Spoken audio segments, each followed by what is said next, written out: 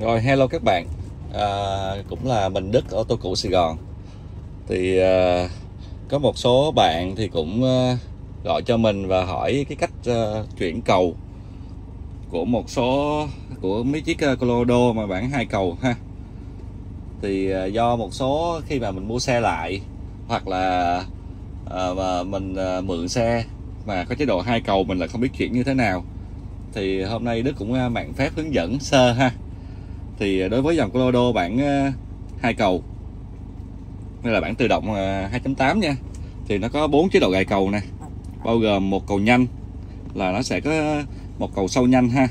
Thì nó sẽ hiển thị là hai, một trên lên, hai cầu nhanh và chế độ hai cầu chậm và chế độ cái chữ N này chế độ nature để tháo cầu. Thì do mình nhiều khi mình mua xe lại rồi mình cũng không biết sử dụng như thế nào thì hôm nay Đức cũng hướng dẫn luôn ha. À, màn phép hướng dẫn thôi. Thì cũng ờ, không phải là là là là quá rành. Nhưng mà mình cũng hướng dẫn sơ, sơ ha. Đối với chế độ một cầu nhanh này thì mình chạy bình thường. Những đoạn đường bình thường mình chạy một cầu thì tại 2.8 nó cũng khỏe lắm. Còn khi nào mình đi cái đường ờ, trời mưa lớn trơn trượt hoặc đi ờ, đèo dốc gì đó mà cũng hơi hơi dốc lắm đó, thì mình mới xài chế độ hai cầu ha để tăng cái độ bám đường và khỏe khoắn hơn còn đối với ờ, cái từ ờ, chuyển từ chế độ một cầu nhanh này để mình chuyển qua hai cầu nhanh á thì mình cái việc uh, vặn nút thôi. Và tốc độ chỉ cần dưới 120 cây số một giờ đối với dòng Colorado nha. Còn đối với dòng Ford thì nó khoảng 100 cây số một giờ. Thì cứ dưới đó là mình có chuyện và chuyển cầu thì nó sẽ hiển thị thứ nhất là nó sẽ hiển thị ở trên cái cái núm xoay cầu là cái đèn vàng ha nó chuyển qua số 4 mũi tên lên cái thứ hai là nó sẽ hiển thị trên cái đồng hồ tắp lô. Cái dấu ờ, đã gài cầu nè. Ha. Còn khi mình tắt đi, thì tự động nó sẽ, chỉ có chế độ một cầu, thì ở trên tắp lô sẽ mất. Đó. Thì đối với ờ, chuyển từ một cầu nhanh qua hai cầu nhanh thì nó đơn giản vậy thôi.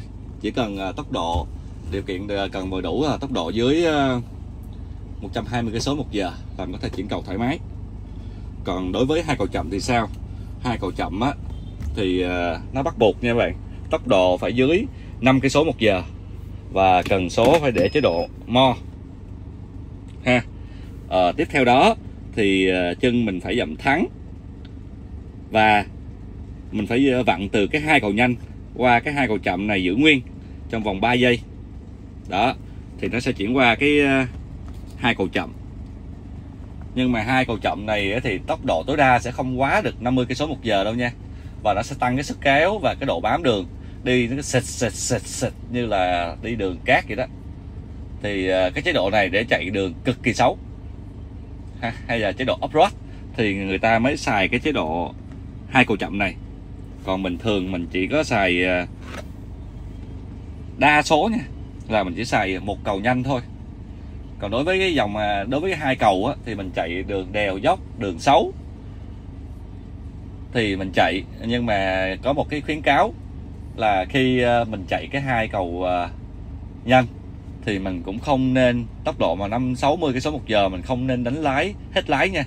Tại khi đó cái mô men xoắn nó đẩy giữa cái trục bánh trước và trục bánh sau nó sẽ làm cho cái xe mình đứng khựng lại và mình ờ, cảm giác sẽ giật mình.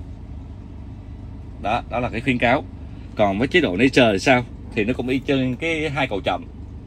Thì à, mình bắt buộc phải để từ chế độ hai cầu nhanh, cần số để mo, ha, chân đạp thắng và tốc độ dưới 5 cũng chân cũng không cần đạp thắng đâu, tốc độ còn dưới 5 là được.